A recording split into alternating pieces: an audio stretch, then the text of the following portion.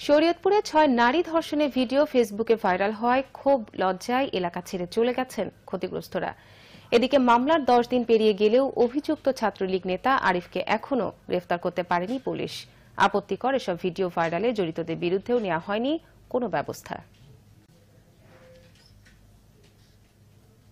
এখনও ধরা পড়েনি ধর্ষণের পর ভিডিও ধারণ এবং তা প্রচারের হুমকি দিয়ে টাকা আদায়কারী শরীয়তপুরের ছাত্রলীগ নেতা আরিফ হাওলাদার।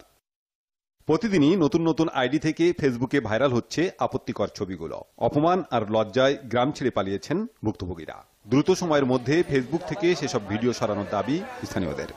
ইন্টারনেটে দেওয়ার পর লজ্জায় দরজা দিয়ে হেরসে লেগে আমার বোন আছে আমার মাইয়া আছে। কিন্তু যাতে করে আমাকে এটি এই সমাজে এরকম হইলে আমরা এই বিয়া দিতে দিতে পারব না। এই পোস্টগুলো দিয়েছে যারা ভাইরাল করেছে এই ভাইরালকারীদের দৃষ্টান্তমূলক শাস্তি হোক।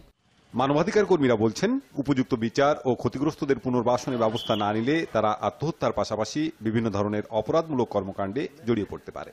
এই যে মেয়েরা যে আজকে এলাকা ছেড়ে চলে গেছে আমি শঙ্কিত। একটা নারী যখন সমাজ থেকে বিচ্যুত হয়ে যায় তখন কিন্তু তার নানা রকমের অপরাধের সাথে যে সে জড়িয়ে পড়ে। এমন পরিস্থিতির জন্য পুলিশের গাফিলতিকে দায়ী করেছে জাতীয় মহিলা সংস্থা। শুরু থেকেই পুলিশ এই ঘটনাটি জানতো।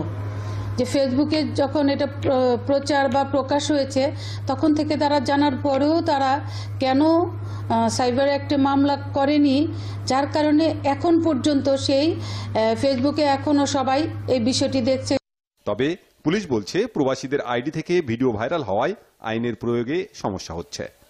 ওকে যদি ধরতে পারি, তাহলে আমরা কিন্তু সমস্ত তথ্যগুলো ওর মুখ থেকেই পাবো এবং আইনি প্রক্রিয়া তার উপর প্রয়োগ করাটা ইজি হবে। আর ভাইরাল যেটা হচ্ছে সেইগুলো বন্ধের জন্য আমরা কাজ করছি। এগারো নভেম্বর ধর্ষণের অভিযোগে মামলা হওয়ার পর থেকে গা ঢাকা দিয়েছে আরিফ। পুলিশের দাবি, তাকে খুঁজে পাওয়া যাচ্ছে না। Bangla vision, news desk.